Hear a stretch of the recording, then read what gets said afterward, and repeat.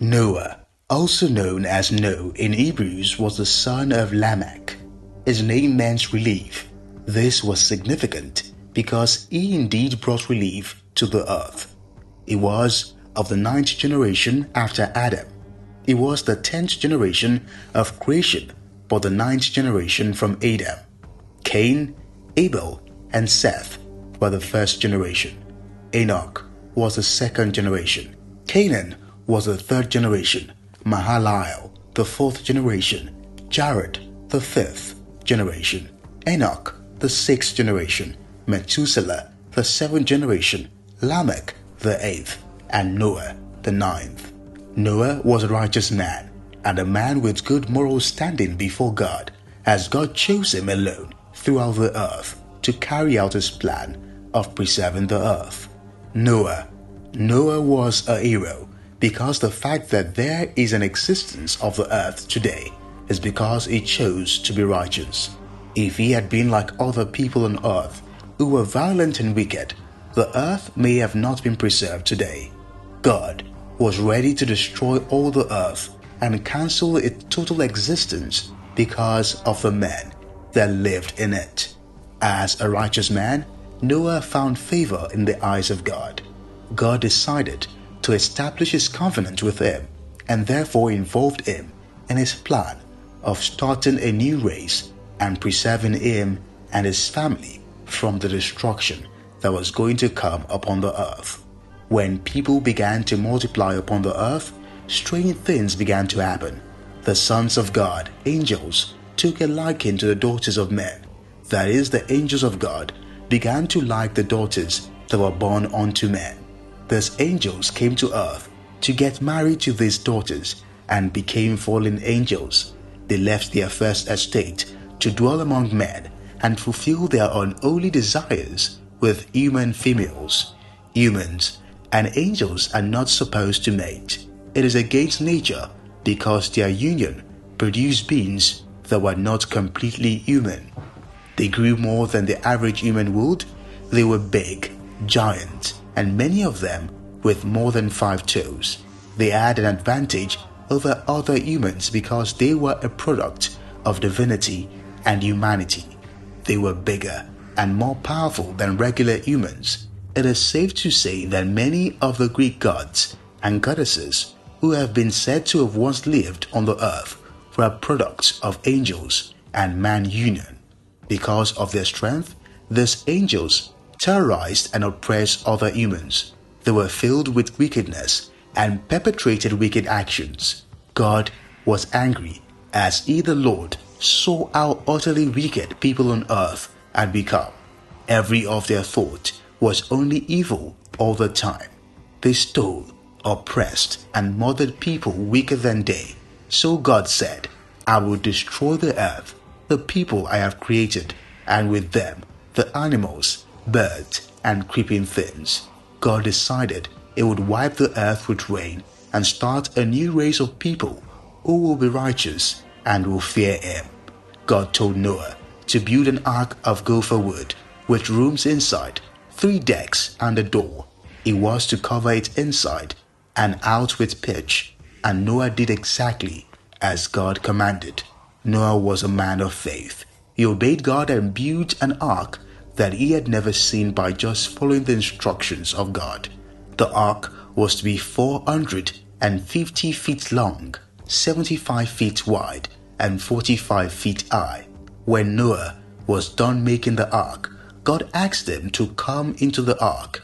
He was to bring his family, his wife, his sons, and their wives. He was to take with him seven each of every clean animal, a male and female, two each of unclean animals, a male and female. It was also to take seven of the birds of the air, male and female, to keep the species alive on the face of all the earth.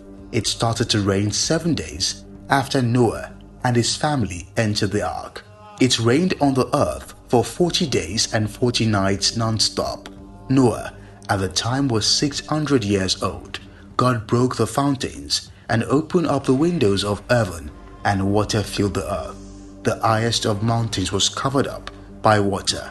No living thing survived it. plants, animals, humans, big and small, they were all swallowed up by the water.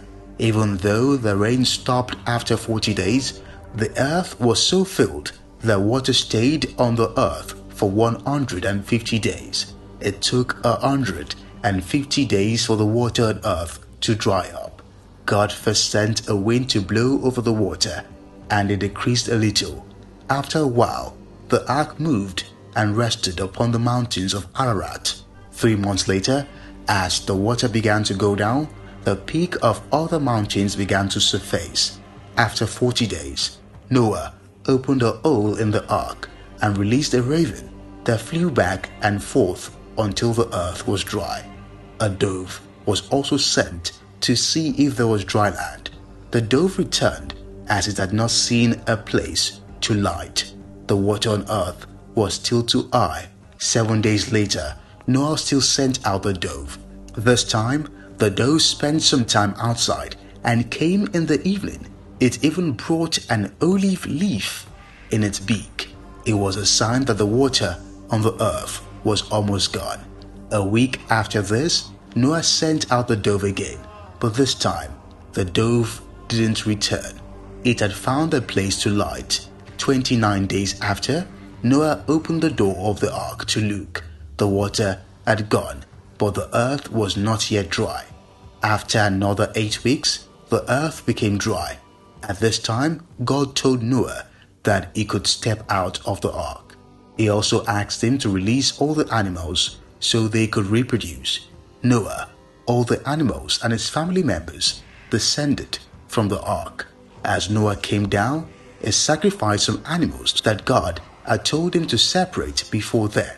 The sacrifice pleased God, and he decided not to destroy the earth with water anymore. God blessed Noah's sons with a lot of children to populate the earth. He also blessed Noah and mankind. He gave them commandments and instruction that they had to follow. They were not to murder any man, as killing another man is the same as killing the one made like God. God sealed his promise not to destroy the earth with water, with rainbow. He put his rainbow in the sky. Whenever he sees the rainbow, he remembers his promise to man. Noah's children were Shem, Ham, and Japheth. From these sons of Noah, the nations of the earth were born. Noah became a farmer and tilled the earth. Here are facts about Noah and the flood. 1. Noah's father was Lamech. 2. Noah was a righteous man. 3. He lived in a time when there were strange occurrences on earth. Angels mated with humans and gave birth to giants. These giants oppressed the weak because they were of great strength. They continually had evil thoughts run through their mind. 4. It was the ninth generation after Adam. 5. He feared, regarded God, and lived uprightly. He always did what was pleasing in the sight of God. 6. He was chosen by God to preserve the earth. 7. His sons' names were Shem, Ham, and Japhet. 8. He found favor in the sight of God because of his righteous deeds. 9. God told Noah to make an ark as he was going to destroy the earth with water. 10. God chose to preserve Noah because he was the only righteous man in a world of wicked people. 11. Noah was a man of faith because it took faith to create what he had never seen before. He only knew it by the description God had given him. 12. He was 600 years old when God sent rain to the earth. 13. Noah obeyed God made the ark of gopher wood and laid it inside and outside with pitch. 14.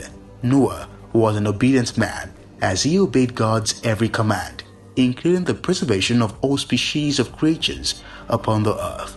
Even when it had stopped raining on the earth and the waters of the earth had begun to dry up, Noah waited for the voice of God to instruct him before he stepped out of the ark. 15. Noah was a considerate man as he sent into the ark alongside his family those related to him by blood and affinity. 16. Noah was a man who honored God.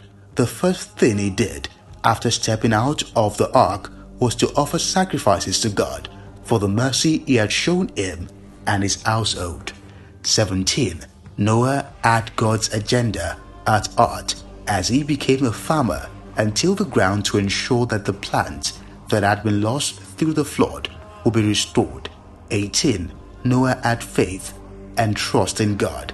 He entered an ark with all kinds of animals, but trusted that God would preserve him. 19. The water of the earth lasted 150 days. 20. It took over 200 days for the earth to get dry.